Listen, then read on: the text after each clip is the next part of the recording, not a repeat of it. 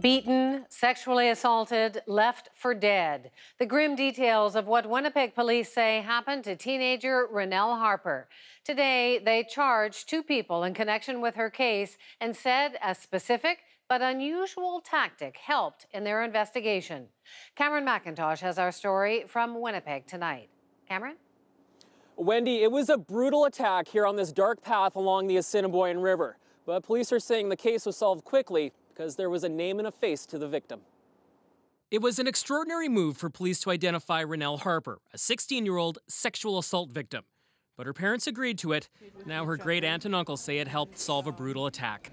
We thought we were going to lose her at first, but it's amazing. It's a miracle.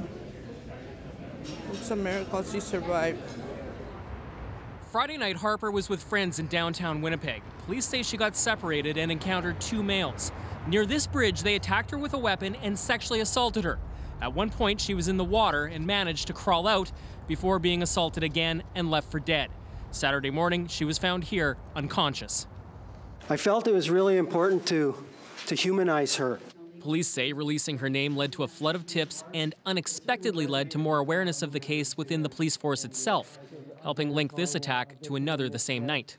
The public release provided many of our officers with detail that they wouldn't have known uh, before. And in this case, the, the, officer was able to make that link between Rinelle Harper and this second attack.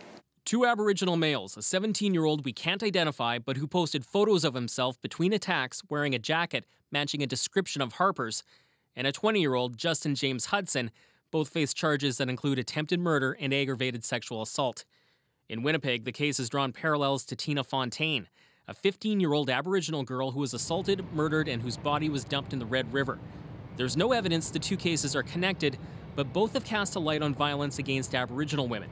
It doesn't matter the color of your skin. If you're violating and almost taking a woman or young girl's life, uh, that's something that is cause for concern for all of us. Meanwhile, Harper's family says the girl is in intensive care but will recover. I told her that she's going to walk again and enjoy time with her friends again.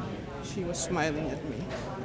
One negative effect of that release was also unforeseen. Tonight, some people were planning to hold a rally in Rinelle Harper's name. Her family said they didn't want that. They don't want this to become politicized. Wendy? Thanks, Cameron. Cameron McIntosh in Winnipeg tonight.